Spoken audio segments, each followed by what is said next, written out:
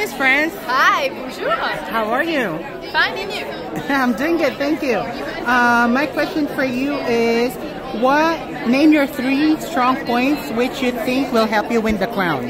Oh, okay. First start, I think my ginger short hair, Nice. of course, um, my determination, and my country because I'm from France, and you know, everybody loves France in the world. and my second question is, what do you think? What should be your strategy in order to boost your chances in winning Miss Universe 2019? The best I can do is to stay myself, to stay natural. I think is the more important. All right, Yeah. nice. And um, do you have any message that you would like to give to Missosology and to your fans around the world? Jules. I know this hero.